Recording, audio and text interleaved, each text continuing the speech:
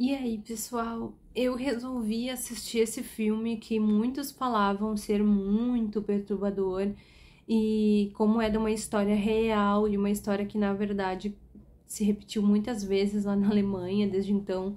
Eu resolvi assistir, né? Vamos ver o que que é, se dá realmente nojo, se é perturbador.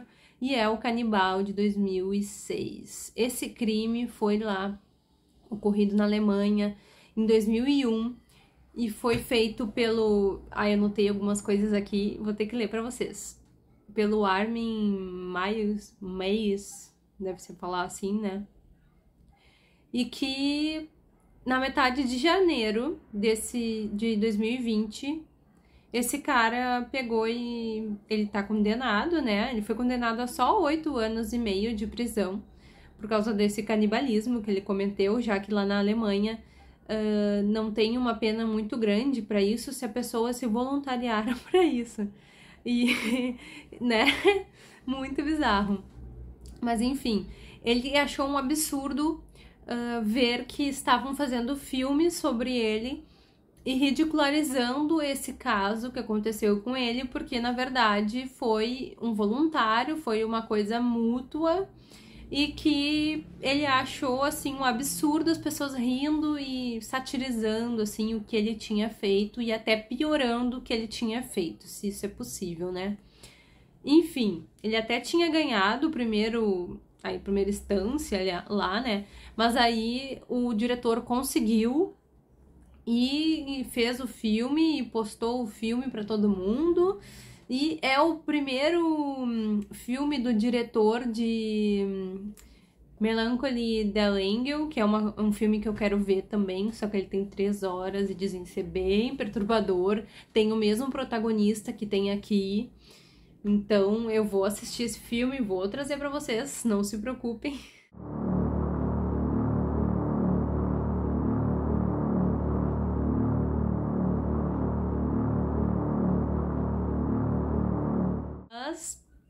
Enfim, ele é o mesmo diretor.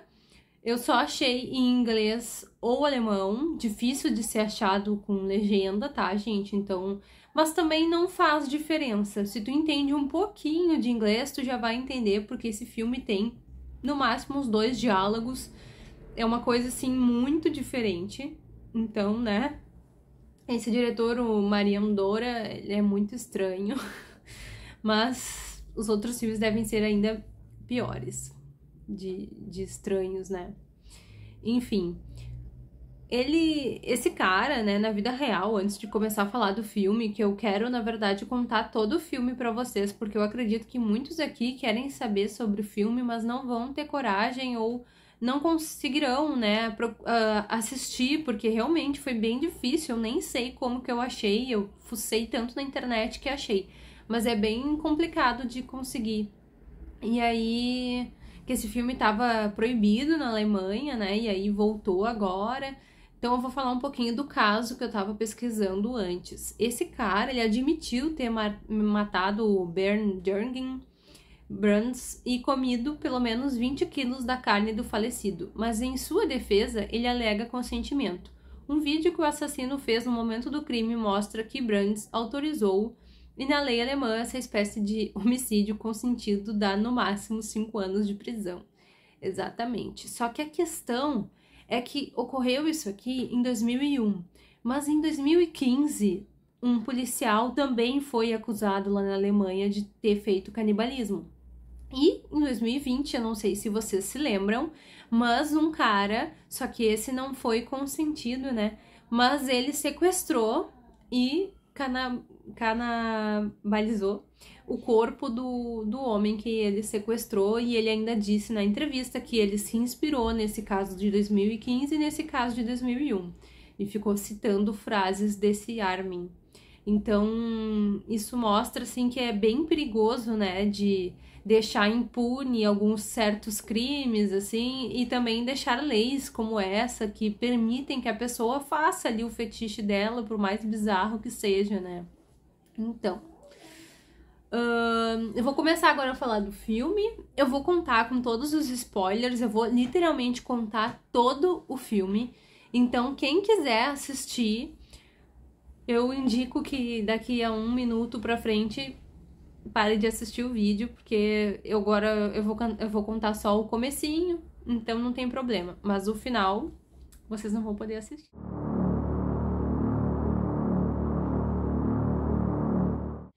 Enfim, esse cara, o filme inteiro, assim, eles são retratados só como o homem, o canibal e o homem.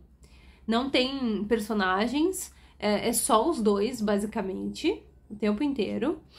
E esse personagem canibal, ele fica sempre aparecendo assim, vendo vídeos pornôs estranhos demais, que são tipo snuff vídeos, sabe, de, de morte, ou olhando carnear um boi, porque eu acho que ele queria aprender esse tipo de coisa, assim, que ele fica olhando e fica nos mostrando.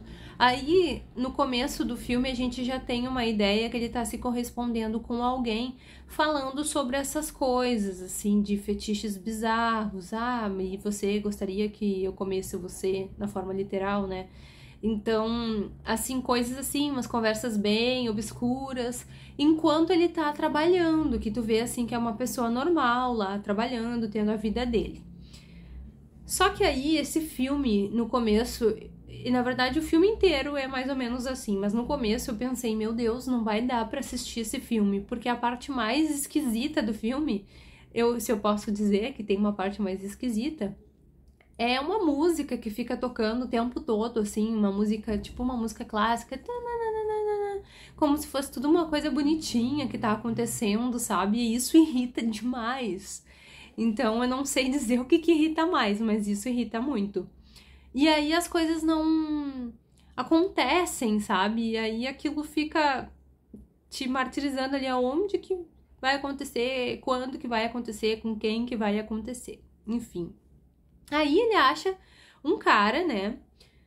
E marca de sair com um cara, a gente descobre que é tipo um gay enrustido então eles estão ali pensando em ter alguma coisa também, fora o canibalismo. O cara no filme aceita sim, e ele tem aquele fetiche tanto quanto o outro, dá para notar que ele tem, ele até nas cenas parece pior do que o próprio canibal, é uma coisa muito estranha. E começa assim umas cenas bizarríssimas de como se fossem dois amantes antigos, almas gêmeas que se reencontraram, sabe? E aí eles começam em cenas ali sexuais e ficam se beijando e se esfregando, e aí aparecem umas coisas assim, só que aquela musiquinha tocando no fundo sempre irritando. Só que a imagem do filme eu já não vi com muita qualidade, só que é bem difícil de enxergar, mesmo eu acho que em HD, porque é isso que quiseram fazer, né? Tipo assim, uma imagem meio desfocada, meio. E aquilo te dá agonia porque tu quer saber o que, que tá acontecendo, porque tu enxerga umas coisas e tu não sabe exatamente o que, que tá acontecendo ali, né? E aí eles falam duas palavras no meio do filme, basicamente. Falam alguma coisa, uh, não lembro bem o que, que eles falaram, mas tipo, se ele ia comer ele mesmo, né? E, e ficam falando ali sobre aquilo ali, mas só em palavras bem básicas mesmo, eles começam a ter literalmente relações e o que me deixou interessada nisso é que eu achei que quem ia querer ser o ativo da relação era o canibal, mas não, ele era literalmente o mais uh, pacífico ali, passivo impossível, e eu achei isso muito estranho, porque eu tive a ideia assim que, bom, o canibal vai ser o que vai fazer uma violência no cara, né? Vai ser o ativo da situação, vai querer cortar ele, vai querer fazer essas coisas, mas não. Então isso é muito interessante também. Eu queria saber pelo lado da psicologia. E aí, hum, tu vê assim a excitação dos dois. Esse filme, os personagens ali, os atores, são muito bons porque eles conseguem te passar a excitação que eles estão naquele momento. Parece uma coisa real, transparece assim que eles estão num frenesi esperando para explodir. É uma coisa assim muito, muito louca. E repentinamente, do nada, o cara não quer mais participar. O, o homem. Aí eu pensei, bom, o canibal vai matar ele, vai fazer alguma coisa. Não, o canibal simplesmente leva ele para a estação de trem. Na estação de trem, o cara pega e fala para ele: "Não, tu realmente, tu vai me comer? Tu vai me matar?" Porque ele achou que o canibal não ia fazer, que ele tava com medo, porque ele realmente tem umas cenas assim que ele fica se jogando no chão, parece que tá com medo de fazer aquilo ali. E o cara se irrita porque ele não quis matar ele. E aí ele pergunta na cara dura assim: Tu vai me comer? Tu vai me matar? Porque senão eu quero ir embora. E aí eles voltam pra casa. então, gente, é um filme louco demais. Aí eles voltam pra casa e os dois, de novo, continuam naquele frenesi, continuam naquele frenesi e as coisas funcionam melhor, mas o canibal ainda tá um pouco assim, sabe?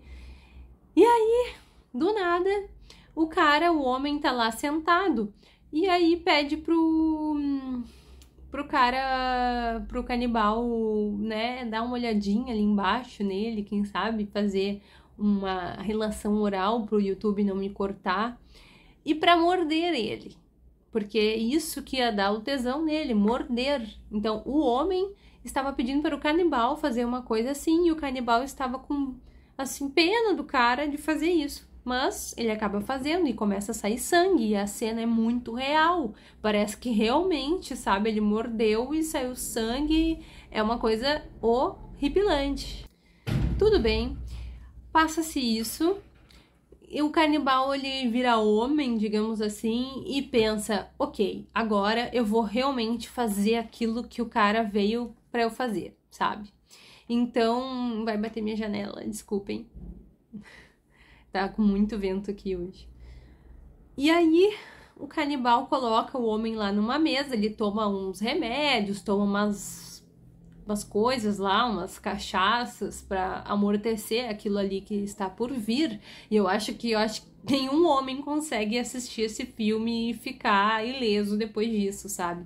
Porque o canibal vai lá, corta o pênis do homem no normal, assim, sem injeção, sem nada, corta, coloca lá no chão, fica acariciando e o homem nisso sofrendo, mas tendo uma excitação tremenda. Ele faz xixi depois de estar tá cortado e mostram a cena saindo xixi. Eu não sei como que fizeram aqueles efeitos, porque parece muito real. Sai xixi lá de dentro de um buraquinho do canal da urina. E corta a cena. E aí tu pensa, meu Deus. E que corta a cena? O canibal vai pra cozinha cozinhar o órgão do homem para os dois saborear, né? Mas eles acabam achando muito ruim e gospem tudo no chão. Ok. Passado isso, ainda vivo, homem sem pênis, hum, eles ficam pensando naquele momento, ficam conversando e, e, tudo é filmado, parece que tá sendo filmado, e aí o canibal fica numa loucura, assim, se tá pegando bem o ângulo e coisa e tal do que tá acontecendo, mas eles ficam assim num. Uma coisa, meu Deus, tá acontecendo isso, nossa, sabe? Os dois ficam assim num amor, numa felicidade que eles estão conseguindo fazer aquilo ali que eles queriam fazer. Uh, depois disso, né? Ele, depois dessa deliciosa janta que eles odiaram, ele lê para o seu homem ali uma historinha enquanto coloca ele numa banheira, só que a banheira começa a sair assim sangue, né, um monte de sangue lá embaixo, dá uma hemorragia no cara, imagina uma ferida aberta, e ele acaba morrendo ali na banheira. Mas ele tá lendo para ele, então, nossa, né? Que, que casalzinho mais lindo ele lendo para ele. Ok. Aí, se não bastasse isso, ele pega e pensa assim: bom, acho que eu vou fazer que nem aquele vídeo que eu assisti de como que eles carneiam um, um porco. Por que, que eu não faço isso? Então, ele leva o homem lá para a floresta, pendura ele como um porco, como um boi, pega um facão, abre toda a caixa torácica, fica tirando os órgãos um por um. E não pensem que eles cortam, eles mostram tudo, tudo, por mais que a imagem seja um pouco borrada, estranha, eles mostram tudo que tá acontecendo e é uma coisa horrível. Eu fiquei enojada ali daquela cena porque realmente parecia que ele tava carneando uma pessoa. E se não bastasse isso, ele enxerga ali o buraquinho que sobrou do homem e fica tendo pensamentos e fazendo coisas ali com o buraquinho morto que sobrou do homem. Então, é nojento, é muito bizarro, é terrível e também é bem complicado de se assistir. Ele decepa a cabeça ali, também aparece tudo e guarda, reserva a cabeça num lugar. Então é uma coisa assim muito realista que eu não sei, eu gostaria de saber que efeitos que utilizaram, porque eu muitas vezes achei que ele tava sabe? Até o, a bolsa escrotal do cara parecia muito real. Então, achei muito estranho e muito interessante. E também é um filme proibido para quem possa se impressionar, porque olha as coisas que acontecem nesse filme, né? Então, uma pessoa que é sensível não pode assistir, no máximo assista uma resenha. Eu vou colocar algumas imagens aí durante o vídeo, mas nada muito pesado, né? E então, o que, que acontece? Depois disso tudo que ele fez, ele faz um banquete maravilhoso para um rei comer e faz uma mesa gigante com muitas coisas. E aí eu acho que faz a metade do homem já ali. Coloca a cabeça do homem decepada na mesa para comer junto dele, né?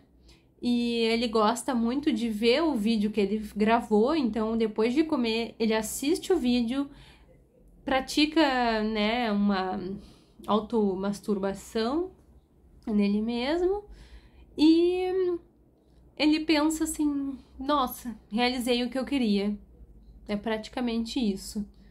E depois ele pega e sai para trabalhar arrumado como se fosse um dia normal, assim, ele passou por tudo aquilo, mas é um dia normal e ele foi trabalhar. Então acho que aquilo tudo aconteceu numa noite, num dia, e eu fico imaginando assim que loucura que deve ter sido, porque o cara realmente parecia, eu não sei, né? Eu não me aprofundei ali no caso para saber se tinha algum consentimento ou coisa assim, mas eu não duvido. E eu já tinha ouvido falar desse caso que um cara se voluntariou para, né, e, gente, isso é muito preocupante. Imagina, sabe, que pessoa que consegue ter um fetiche desses de ser comida e, sabe, e passado por tudo isso e arrancado o membro ainda vivo.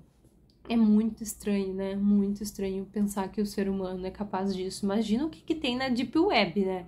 Se esse filme nem tá na Deep Web, imagina o que, que tem lá. Outra coisa que aparecia durante o filme eram umas minhocas e uns caramujos, umas lesmas, e eu ficava pensando o que será que aquilo ali tinha a ver, se era porque eram umas coisas nojentas, né? O que, que eles quiseram passar com aquilo ali, porque ficava aparecendo o tempo inteiro.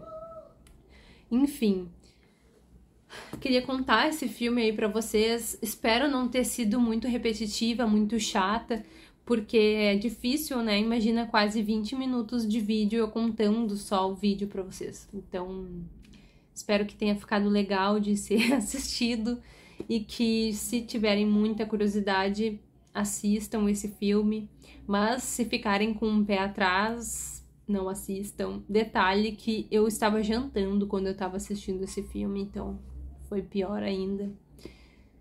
E é isso aí, pessoal. Qualquer coisa, comentem aí pra mim.